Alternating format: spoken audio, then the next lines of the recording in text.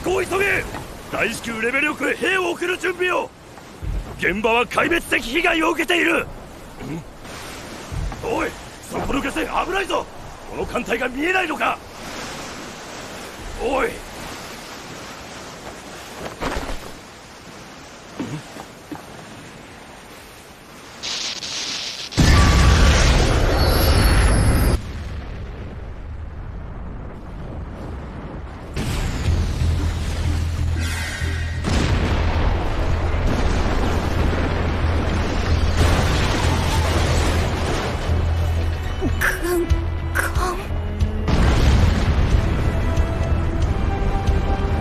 おさっとするな。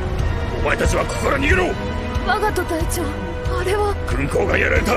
あんなことができるのは。超大型巨人だけ。ベルトルトは巨人を。奪われていた。そうだ！やはり連中が無策でここまで攻め込んできたわけがねえ。やってみろよ。悪魔ども